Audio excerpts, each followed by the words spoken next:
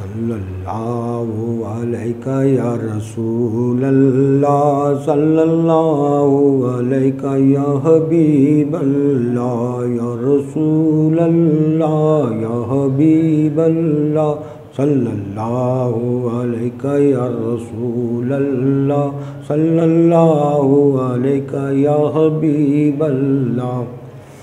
औज़बिल्लिमिनशैतवानरजीम बसमीम मेरे इस्लामी भैन भराओ ਅੱਜ ਤੁਹਾਡੇ ਨਾਲ ਮੈਂ ਇੱਕ ਐਸਾ ਵਜ਼ੀਫਾ ਤੁਹਾਨੂੰ ਅੱਗੇ ਵੀ ਨਾਦੇ ਅਲੀ ਸ਼ਰੀਫ ਦਾ ਤੁਹਾਨੂੰ ਮੈਂ ਦੱਸ ਚੁੱਕਿਆ ਵਜ਼ੀਫੇ ਤੇ ਨਾਦੇ ਅਲੀ ਜਿੰਨੇ ਬੇਟਾ ਪੜ੍ਹਨੀ ਹੋਵੇ ਇਜਾਜ਼ਤ ਤੋਂ ਬਿਨਾਂ ਨਾ ਪੜਿਆ ਕਰੋ ਇਜਾਜ਼ਤ ਜ਼ਰੂਰ ਲਿਆ ਕਰੋ ਤੇ ਫਿਰ ਫਾਇਦਾ ਵੀ ਹੁੰਦਾ ਤੁਹਾਨੂੰ ਦੱਸਾਂ ਨਾਦੇ ਅਲੀ ਬੜੀ ਪਾਵਰ ਵਾਲਾ ਵਜ਼ੀਫਾ ਜੇ ਤੁਹਾਨੂੰ ਮੈਂ ਦੱਸਦਾ ਨਾਦੇ ਅਲੀ ਪਾਵਰ ਜਿਹੜੀ ਨਾ ਕੀ ਬਾਤ ਹੈ। ਐਸੀ ਪਾਵਰ ਜੇ ਨਾਦੇ ਅਲੀ ਚ ਤੁਹਾਨੂੰ ਦੱਸ ਤੁਸੀਂ ਆਪ ਦੇਖਿਆ ਹੋਣਾ, ਬੜੇ ਬੜੇ ਇਹਦੇ ਨਾਲ ਕੰਮ ਹੁੰਦੇ ਹਰ ਮੁਸ਼ਕਲ ਦਾ ਹੱਲ ਨਾਦੇ ਅਲੀ ਜਗ੍ਹਾ ਤੁਹਾਨੂੰ ਦੱਸਦਾ ਨਾਦੇ ਅਲੀ ਪਾਕ ਨੂੰ ਤੁਸੀਂ ਪੜੋ ਤੇ ਫਿਰ ਤੁਸੀਂ ਇਨਸ਼ਾਅੱਲਾ ਤਾਲਾ ਚਾਹ ਜੈਸੀ ਤੁਹਾਨੂੰ ਮਸਲਾ ਮਸਾਲ ਤੁਹਾਡਾ ਖਤਮ ਹੋਇਆ।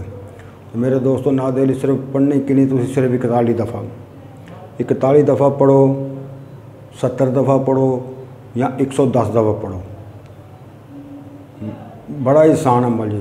ਮੈਂ ਤੁਹਾਨੂੰ ਦੱਸਦਾ, ਮੈਂ ਸਿਰਫ 110 ਦਫਾ ਪੜਦਾ ਜੀ, ਠੀਕ ਹੈ। ਲੇਕਿਨ ਆਮ ਬੱਚੇ ਜਿਨ੍ਹਾਂ ਨਹੀਂ ਪੜਦੇ ਜਿਨ੍ਹਾਂ ਨਹੀਂ ਕਦੀ ਪੜੀ ਤਾਂ ਉਹਨੂੰ ਸਿਰਫ ਚਾਹੀਦਾ 41 ਦਫਾ ਪੜੇ ਅੱਗੇ ਪਿੱਛੇ ਦਰੂਦ ਰੱਖੇ 11 11 ਦਫਾ ਔਰ ਨਾਦੇ ਅਲੀ ਪੜੇ ਔਰ ਖੜੇ ਹੋ ਕੇ ਪੜੇ ਖੜੇ ਹੋ ਕੇ ਪੜੇਗਾ ਤੇ ਇਨਸ਼ਾਅੱਲਾ ਤਾਲਾ ਜੈਸੀ ਤੁਹਾਨੂੰ ਮੁਸ਼ਕਲ ਪਈ ਹੈ, ਜੈਸੀ ਤੁਹਾਨੂੰ ਜ਼ਰੂਰਤ ਪੈ ਗਈ ਕੰਮ ਦੀ, ਜੈਸੇ ਕਾਰੋਬਾਰ ਲਈ ਕੋਈ ਤੰਗ ਕਰਦਾ, ਦੁਸ਼ਮਣ ਤੰਗ ਕਰਦਾ ਉਹਦੇ ਲਈ ਤੁਸੀਂ ਦੁਆ ਕਰੋ ਪੜ ਕੇ ਅੱਲਾਹ ਤਾਲਾ ਅੱਗੇ ਇਨਸ਼ਾਅੱਲਾ ਤੁਹਾਡੀ ਉੱਥੇ ਹੀ ਕਬੂਲ ਹੋਏਗੀ, ਉਹ ਪਰੇਸ਼ਾਨੀ ਤੁਹਾਡੀ ਦੂਰ ਹੋਏਗੀ। ਨਾਦੇ ਅਲੀ ਐਸੀ ਪਾਵਰ ਵਾਲਾ ਵਜ਼ੀਫਾ ਜੇ, ਨਾਦੇ ਅਲੀ ਤੁਸੀਂ ਪੜਨਾ ਚਾਹੁੰਦੇ ਹੋ ਬੱਚਿਓ ਇਹਦੇ ਇਜਾਜ਼ਤ ਤੋਂ ਬਿਨਾਂ ਨਾ ਪੜਿਆ ਕਰੋ, ਇਜਾਜ਼ਤ ਲਿਆ ਕਰੋ ਤਾਂ ਕਿ ਬੰਦੇ ਨੂੰ ਕੋਈ ਡਰ ਖਤਰਾ ਖਤਮ ਹੋਵੇ। ਡਰ ਡਰ ਕੋਈ ਨਹੀਂ ਕਿਸੇ ਦਾ, ਡਰ ਡਰ ਨਹੀਂ ਹੈਗਾ। ਲੇਕਿਨ ਫਿਰ ਵੀ ਸ਼ਤਾਨੀ ਕੂਵਤਾਂ ਪਿੱਛੇ ਲੱਗ ਜਾਂਦੀਆਂ।